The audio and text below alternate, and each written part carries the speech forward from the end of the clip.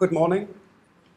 Um, I'll admit when I was first invited to give a talk, my intention was to give my routine system on a substrate lecture. But when I saw the caliber of the other speakers, I really thought, well, this is not going to be good enough. I know many of the, the other speakers, I know the really high standard of what they're doing in industry. So fortunately, he um, Helen was very kind and let me do a slightly different talk, completely new, which is looking at really the history of millimeter waves, where they came from, where they're going, how did we get to where we are now? Because I really think it's timely because 5G, everyone's talking about millimeter waves. It really does seem that millimeter waves is suddenly going to become a big consumer product. So it would be useful to see just how long it's taken to get to that point, all the different steps that were taken along the way, particularly with some bias, look at some of the UK efforts that were made in the pioneering days, I then pose the question about what 5G and millimeter waves really means at the end. So I probably have too many slides. I haven't rehearsed. So I may go over time. I'll try not to. I'm sure Helen will come and poke me with a stick. And I'll, I'll dash through some of the historical ones very quickly just to give a flavour of what they're about. So firstly, why millimeter waves? I'll keep this simple. It's been known for many years that millimeter waves have the advantage for communications of very high bandwidth. You can make small, high gain antennas.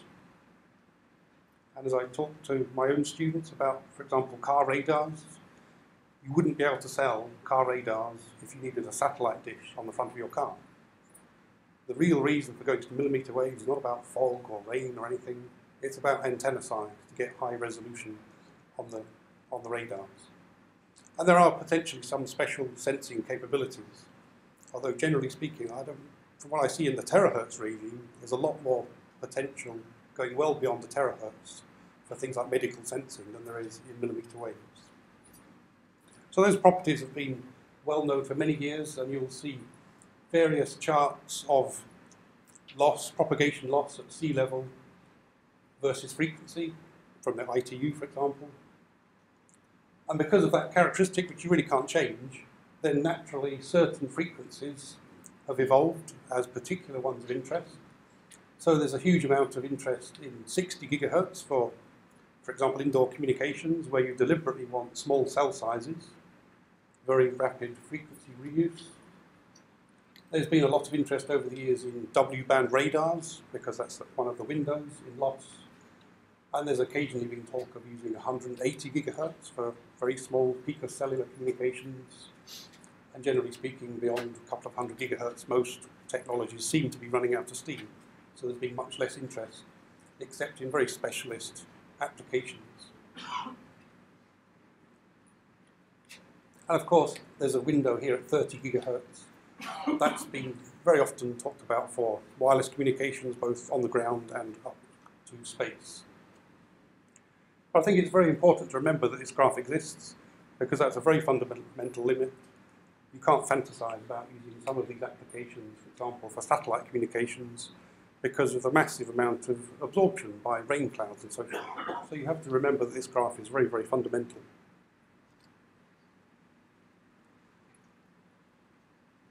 So that, as I said, there's been a lot of interest in millimeter waves for decades, really we go a whistle-stop tour through some of the early millimeter wave technology. This is not intended to be an authoritative historical summary. It's a very quick look at some of the techniques we've used over the decades. And the very first kinds of millimeter wave amplifiers were not surprisingly based on 3-5 materials using the transferred electron effect. What's remarkable is the very first millimeter wave amplifiers we're using entire wafers of gallium arsenide, basically ramming the wave into a wafer, getting a negative resistance effect and reflecting back a stronger wave. That's just how sort of brutal that first attempt to make millimeter wave signal sources was. But of course, very successful.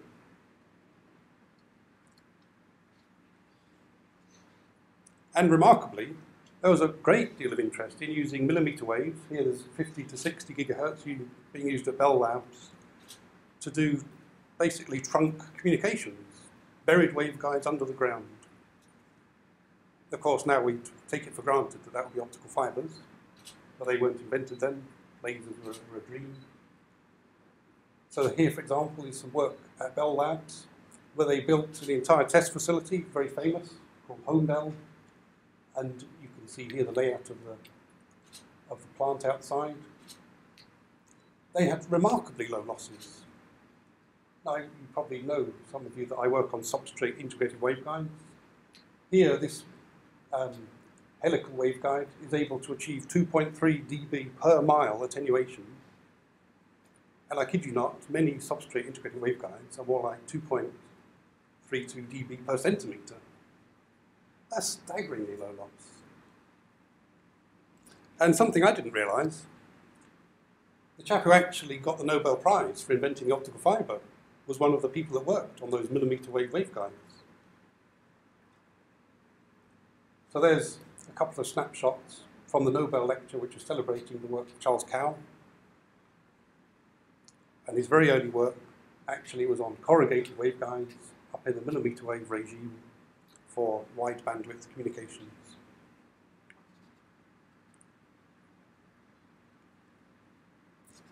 So as interest grew, then not surprisingly, people started to work a lot more on solid state devices. There was a very heavy emphasis in the early years on Gunn diodes, IMPATT diodes.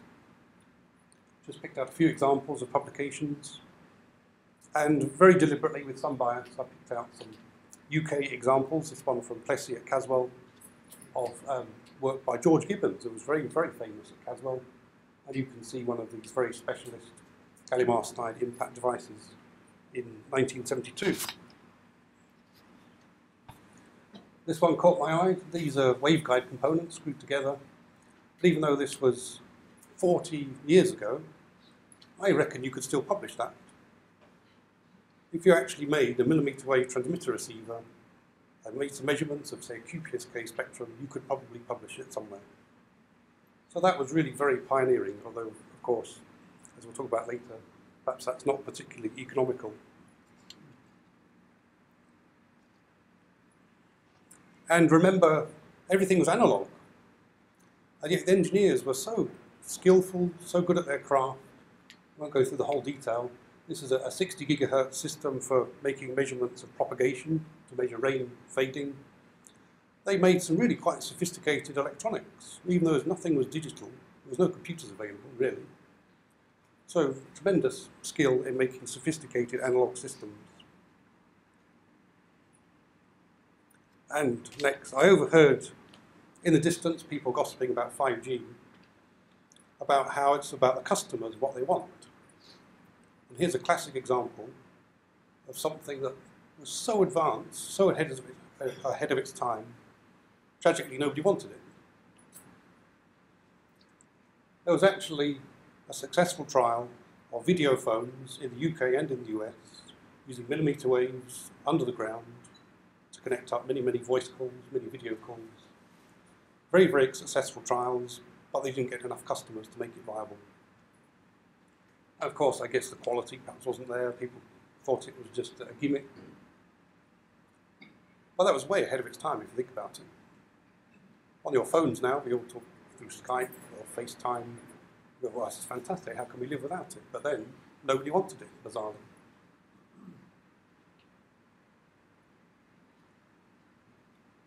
So this is remarkable, looking back, 17 gigabits per second going down the millimeter wave um, waveguides. And something to note, you don't read about this very often. In the terahertz regime, remember I talked about the graph of atmospheric absorption, even on an optical bench, the losses can be so high you can't make a measurement because of water absorption in, in the air. And they were well aware of that, even at millimeter waves then, much longer distances. Their technique was to pump dry nitrogen into the hollow waveguides to get rid of the air, reduce the loss.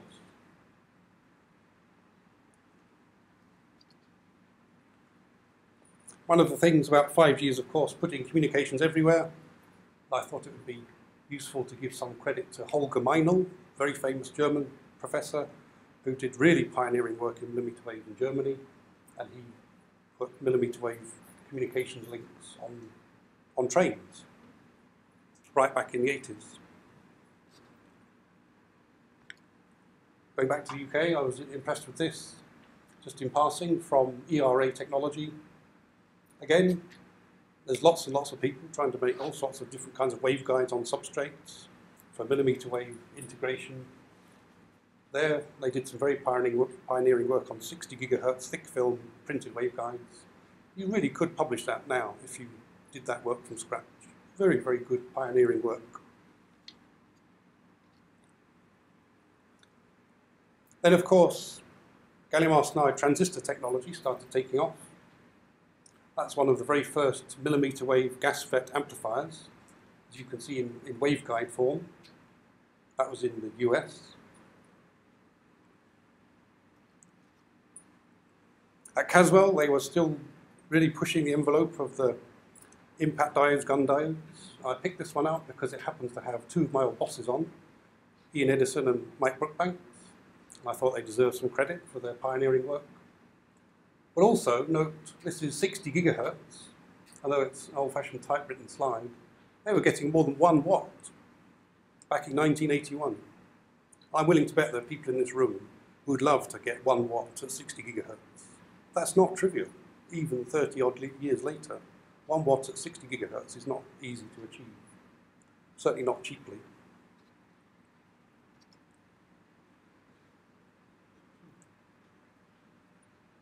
Planar antennas are, of course, extremely important for millimeter waves. So I picked out one of the very earliest works on a patch antenna array from Weiss. Very nice piece of microstrip patch antenna. Really, really elegant radiation pattern. And again, you really could publish that now. That was how good that work was. You could still publish that as such a good result. There was lots of work on innovative antennas to make an omnidirectional millimeter wave antenna for mobile communications. Cover some of that again later. And then one really crucial development, which I think was at the back of my mind when I decided to do a historical talk, was a British achievement, and it was the world's first GaAs MMIC.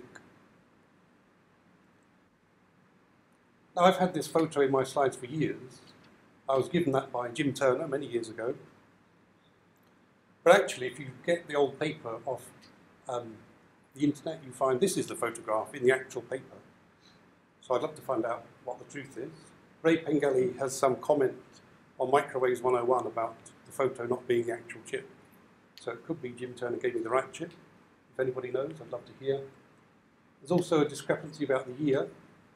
Microwaves 101 claims it was 1975, I've held the paper in my hand and it definitely says 1976.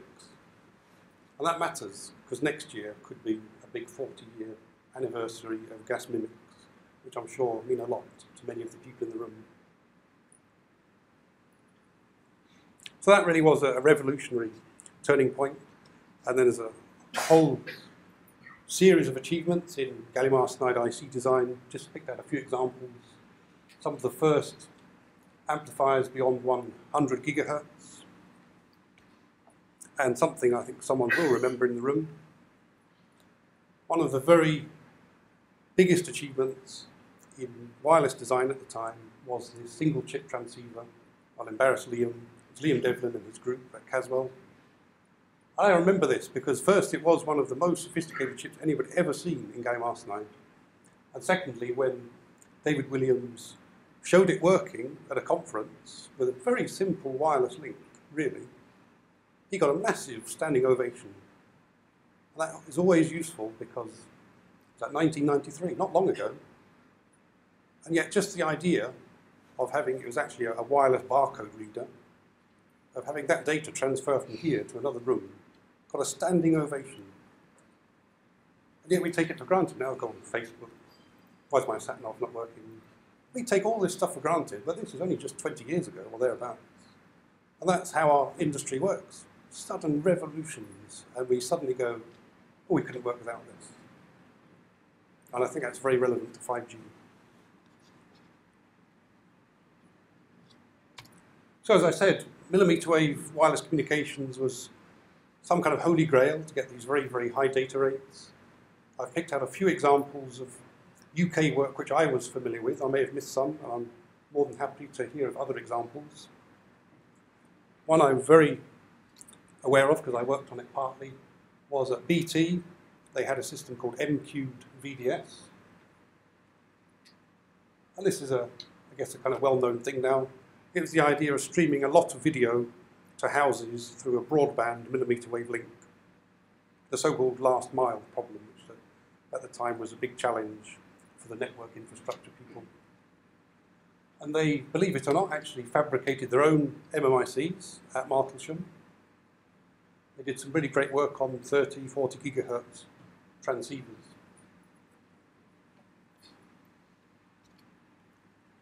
Also at BT, Dave Wake's work was very well known. He took a slightly different approach, very focused on fiber radio techniques, which are starting to get adopted in various distributed antenna systems. He was one of the, the first people that talked about 180 gigahertz for very, very small picocells. Very near here, there was a, a really big buzz about Radiant Networks building this very innovative internet connection system using a mesh network wirelessly. It had these really quite sophisticated antennas with steerable dishes, so mechanical steer steering effectively. That sadly didn't come to a successful conclusion. The BBC were very keen on getting wireless cameras for sporting events and so forth.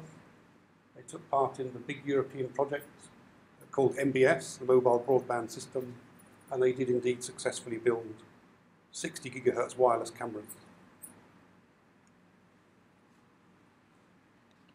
And last, and probably least, I have to confess, I also worked on 60 gigahertz wireless communications when I was at King's College. We worked with DRA at Malvern.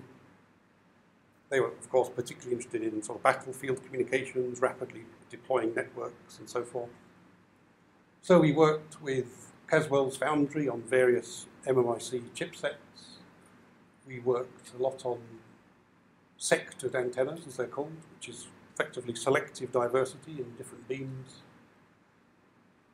But tragically, with the benefit of hindsight, we spent a huge amount of time, excuse me, modelling what's called delay spread, looking at multipath propagation, desperately trying to fight multipath by having clever steerable beam antennas. And I just re regret so much that I didn't think of the idea of MIMO. Because MIMO is so genius. You actually use multipath to your advantage and send different data across different reflected signals around a room. Very, very clever. So sadly, I don't have that tremendous piece of impact. And if you look here, this is one of the very earliest PIMRC conferences. I've not been to that for a long time, but I'm told, this is my old supervisor at Aghvami, was the founder of PIMRC when we were at King's College together. Now a big global conference. So I didn't invent MIMO, but I did do the first tea trolley at PIMRC in London. That's about as big as it gets in terms of my claim to fame. So onwards. There's obviously then this very dramatic uptake of wireless technologies from 1995 to where we are now. I was very bad at history at school. I really didn't like it. It's taken me 40 years to realise how important it is to look back because it makes you understand where you are now a lot better. We've had a really explosive growth of wireless systems. And in some ways, tragically, if you're from the gallium arsenide community, you have to accept that's been fueled more than anything by silicon RFIC technology, stunningly cheap technology for very sophisticated electronics. And that's been necessary because, as I'm sure many of you know, the, the network operators, the consumers, the Nokias of this world, that's a bad choice, the Apples of this world, they want really, really low prices because they're selling millions or sometimes billions of these things. They want staggeringly low prices. So the whole world has changed. Transfer of manufacturing has been quite dramatic. And there's been a big consolidation of companies. It's not mine,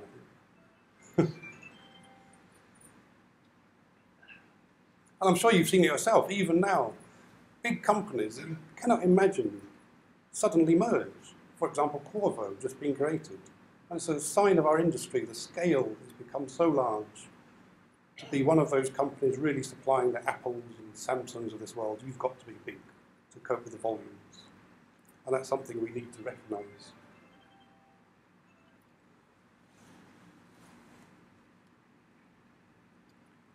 So given that we went through this 20 years of massive revolution of silicon RFICs, an explosion of wireless technologies, everyone has iPhones, let me pose the question, why didn't we have millimeter wave communications earlier?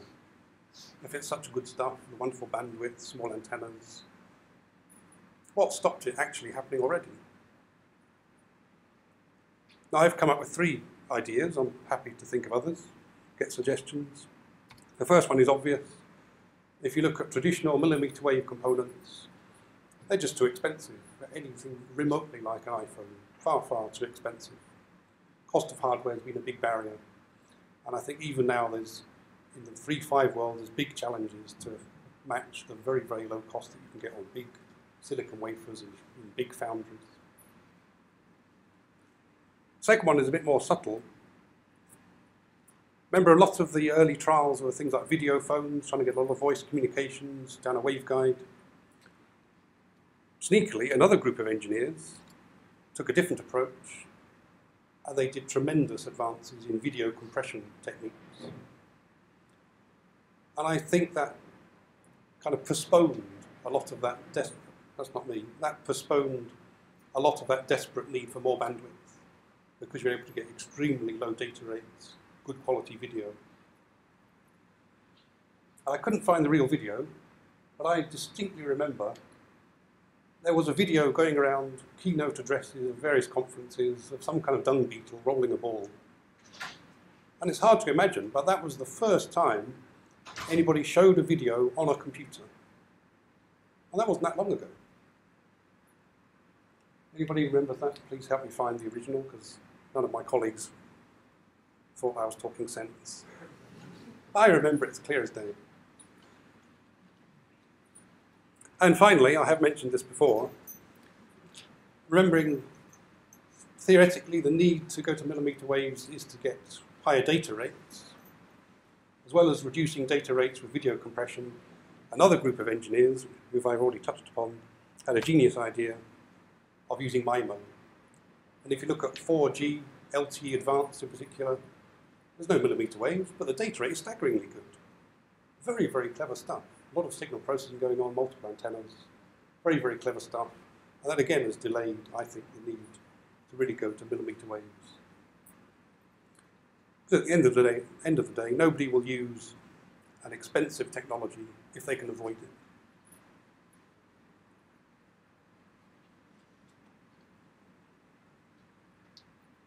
So all of those things really, in many ways, are linked to the really explosive growth of silicon capability.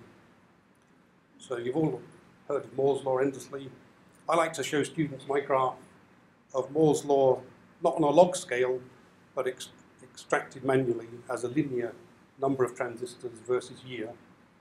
And I will admit it's been tweaked a little bit because there's a whole host of processors over here in the current generation that don't have more than a billion transistors. That's because there are other factors like speed, power consumption, cost that they need to consider. So since 2010, there hasn't been desperate need to get more and more transistors on the chip. It's been about other factors.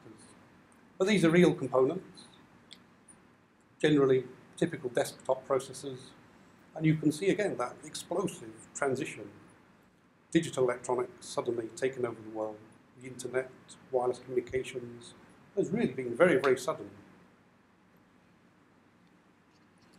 And in the microwave, millimeter wave world, of course, you also have to recognize that continual push with a huge amount of R&D funding, the, the silicon roadmap, has not just pushed down the size of transistors to get more on a chip, get more memory. As the transistors get smaller, they also get faster. So this is now a log scale. The node size goes from a few microns down to currently 14 nanometers. And this is only an estimate from a number of published results. But the FT is already pushing up near a terahertz. So silicon really can do millimeter waves. Where, of course, it struggles is generating significant power. So then if we look back at 3.5 technologies, and I've put affordable in quotation marks because that's all, of course, a matter for debate. I've just picked out a few examples. Where we are now with mobile phones is a few watts, a couple of gigahertz. I think they're extremely low cost now, comfortably achievable. If you push into the millimeter wave regime, then a world record in 2013 was a mere 500 milliwatts. Slightly more recently, at 300 gigahertz with an HBT device, 10 milliwatts was published. And these really are the best I could find. And of course, the reason it's doing that trend is that transistors have this natural 1 over f squared power uh, performance drawback, if you like. You really struggle to beat that challenge of the 1 over f squared performance. So even if we moved, say, to some, as we'll talk about, some kind of multi-chip module with most of the transceiver in silicon, but a few 3.5 devices to get more power, really, millimeter waves is really struggling to get any sensible power out of the transistors without even worrying about the cost. And that leads to a very important conclusion, which is now, I think, well documented, is that in terms of communications, steerable antennas are really important. There's just not enough power available. You've got to focus it in the direction of your receiver to get a sensible EIRP. So again, with the benefit of hindsight, that was obvious. But it was Samsung that had the, the audacity, is that the right word? The bravery to say, we have done the world's first 5G trial.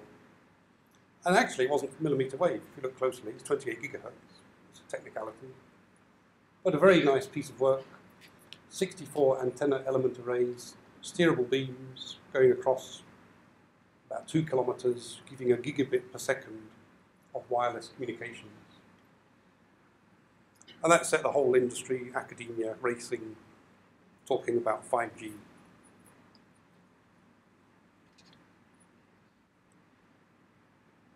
So given what I said about the cost of millimeter waves, particularly in terms of getting power, do we really think millimeter wave communications will make it into consumer products? Well, they already did. I'm sure many of you know already. 60 gigahertz wireless HDMI, 60 gigahertz Wi-Fi is already available. It's not widely adopted currently. So there's a wireless HDMI link, which very clever, uses a number of steerable beams. So if there's an obstacle, it will deliberately bounce the signal off the ceiling. So there's a, a simplified block diagram of the chip. It's got these fairly simple beam forming networks to steer the beam in different directions. There's the circuit board with a, a big silicon IC and a ceramic antenna array.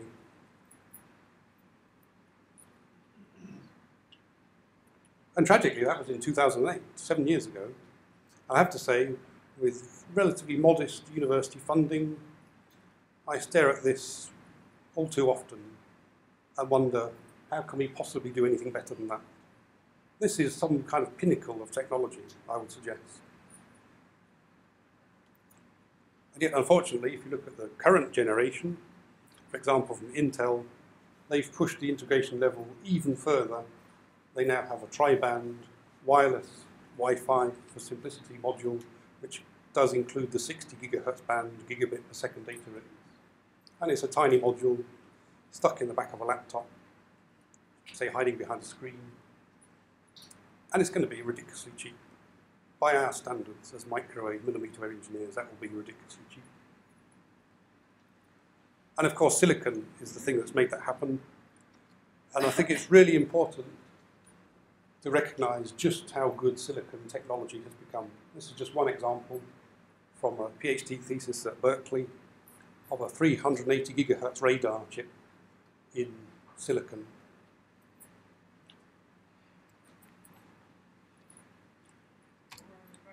I might, right. But of course, as we all know in the room, silicon can't do everything. When you look at more sophisticated transceiver systems that need more power, maybe in a base station, much more stringent filtering requirements, then you need a, a combination of active device technologies, silicon, gallium nitride, gallium arsenide, all sorts. You need a whole raft of different passive components, which are very difficult to replace. So the talk I was thinking of giving was all about multi-chip modules, system in a package, system on a package, system on a substrate. All really just different bandwagons for the same idea that you take a whole raft of different technologies and put them on the same substrate. And I really do think that's the most important way of making a modern system of any kind because you can buy the components from anywhere. It's important not to obsess about one technology versus another, just buy the right component for the job. That's currently going to a next level in many research projects, looking at so-called heterogeneous integration of silicon and III-V devices, either on some kind of common substrate or actually putting different deposited layers on the same silicon chip, which I think is probably a bit expensive. There's also projects looking more at the passive structures, so I won't go through that in detail, but these steerable antennas are a very, very important part of these MIMO systems. I'm really not convinced that you could make a transceiver with 64 different integrated circuit transceivers, one on every patch antenna, because that's pushing the cost just a bit too far. So the idea here is to make the substrate more intelligent and do a lot of that work in terms of beam steering and so forth. But fundamentally, I would pose the question, rhetorically of course, do we need millimeter waves? Why do we need 60 gigahertz uncompressed video, for example? And I think the reason there is there is a big wave of technology about to hit us, and very similar to the video phone in the 70s and 80s. But I think this time people will want it if the technology gives the right products to the, to the customer. So yes, we need millimeter waves. We want high data rate communications, miniature radar, miniature sensors, sensors, because I think they're really going to fuel a big explosion in new forms of human-computer interaction, a big part of which is augmented reality, as it's called.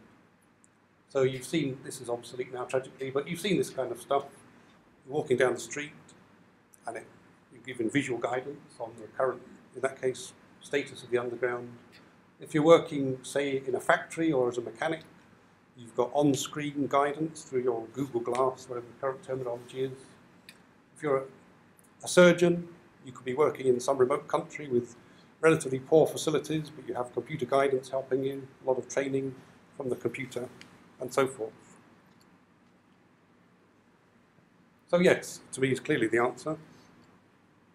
And if you haven't seen it yet, I would really urge you to look at um, last week's Microsoft HoloLens demonstration on their developer conference video. That's the kind of thing I personally, as a, a video gamer, haven't had time for a long time. I've been waiting for that for years. You may see this kind of thing, augmented, augmented reality Quake, that went back maybe 15 years. Well, that's really going to happen, and that's the kind of thing consumers will buy. Now, I said 5G is sort of setting everyone into excitement in academia, in industry. All my communications colleagues keep asking me, will 5G use millimeter waves? And I think most of you in the room will already know the answer is obviously yes. Because firstly, it already does. Even 4G is using wireless backhaul up to E-band. We've already looked at 60 gigahertz Wi-Fi. So obviously, 5G is going to use millimeter waves. And 5G, I really think, is in some ways being undersold, which might sound unlikely. You see, for example, this vision from the European Commission of 5G doing everything from smart grids, connected home, hospitals, intelligent cars, entertainment. It's not just 3G with a bit of a higher data rate. I really do think 5G is going to be something very distinctive and new. And one of the advantages I have as a head of department is I see research, teaching across the whole spectrum of engineering, not even just electronics. I meet energy people, healthcare people, all these things. So much research going on, so much that 5G can do to make computers and humans interact more effectively.